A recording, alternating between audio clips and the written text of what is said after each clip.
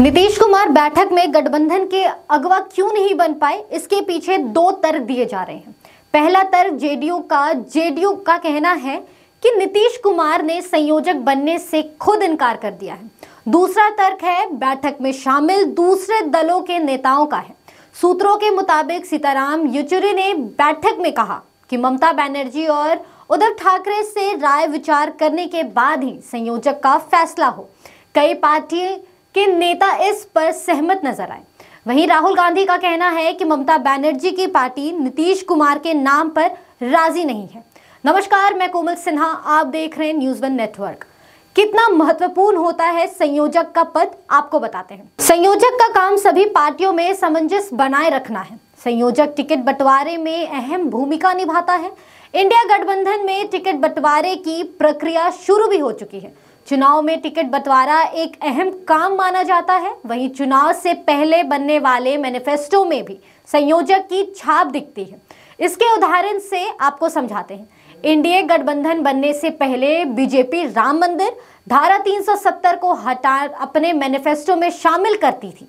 लेकिन एनडीए के संयोजक जॉर्ज फर्नांडिस के विरोध के बाद उन्नीस और 1999 में मैनिफेस्टो में बीजेपी ने इस मुद्दे से खुद को किनारे कर लिया था।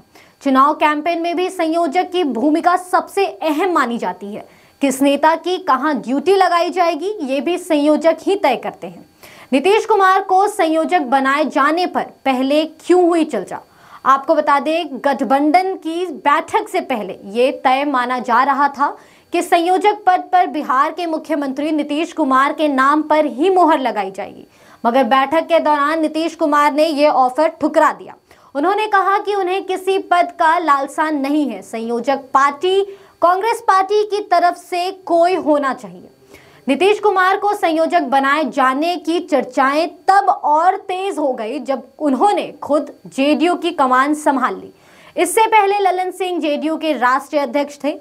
ये बदलाव इंडिया गठबंधन की पिछली बैठक के तुरंत बाद हुआ। ऐसा माना जा रहा कि जब पार्टी की कमान नीतीश के पास है तो इंडिया गठबंधन में पार्टी से जुड़े सारे फैसले भी वही लेंगे। दूसरा तर्क ये है कि इंडिया गठबंधन के कुछ नेताओं को ये भी डर है कि अगर नीतीश कुमार को साथ नहीं रख तो बिहार की 40 लोकसभा सीटें हाथ से निकल सकती है, क्योंकि पिछले चुनाव में बिहार में जेडीयू का अच्छा रिकॉर्ड रहा है और नीतीश का दूसरा पार्टियों के लिए भी फ़ायदेमंद सौदा सामने आ रहा है। 2019 लोकसभा चुनाव में नीतीश कुमार की जेडीयू एनडीए की संयोजक पार्टी थी। तब एनडीए ने बिहार में 40 में से उनचालीस लोकसभा सीटों पर जीत हासिल की थी। वहीं बीजेपी ने 17, जेडीयू ने 16 और एलजेपी ने 6 सीटें जीती थी। इससे पहले 2024 लोकसभा चुनाव में जेडीयू अकेले चुनाव में उतरी थी तब भी 14 फ़ीसदी वोट मिले थे। इसके लिए इंडिया गठबंधन के नेता नीतीश को इग्नोर नहीं करना चाहते हैं।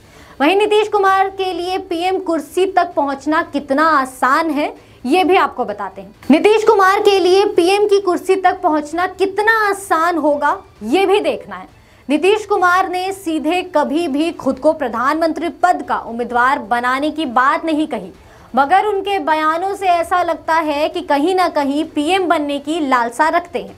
एनडीए से अलग होने के बाद एक बार उन्होंने कहा था, जब तक हम जीवित हैं, तब तक बीजेपी के साथ गठबंधन नहीं करेंगे।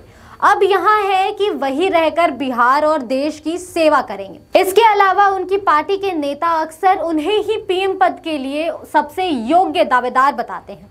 यहाँ तक कि आरजेडी के नेता भी कह चुके हैं कि नीतीश कुमार पद के लिए सबसे ज़्यादा योग्य उम्मीदवार हैं। पिछले साल आरजेडी के वरिष्ठ नेता और विधायक भाई वीरेंद्र ने एक बयान में कहा था, देश का प्रधानमंत्री बिहार से होना चाहिए। नीतीश कुमार की मुहिम से ही पूरा विपक्ष एकजुट हो पाया है। हालाँकि इस पर कुछ लोगों ने तंज भी कसा है। कहा कि आरजेडी नेता नीतीश कुमार को पीएम इसलिए बनाना चाहती है ताकि बिहार के मुख्यमंत्री की कुर्सी तेजस्वी यादव पर सौंपी जा सके। फ़िलहाल इस वीडियो में इतना ही। आपकी क्या राय है? हमें कमेंट सेक्शन में ज़रूर बताएँ। और ऐसी ही तमाम जानकारी के लिए हमारा चैनल न्यूज़ वन नेटवर्क ज़रूर सब्सक्राइब करें।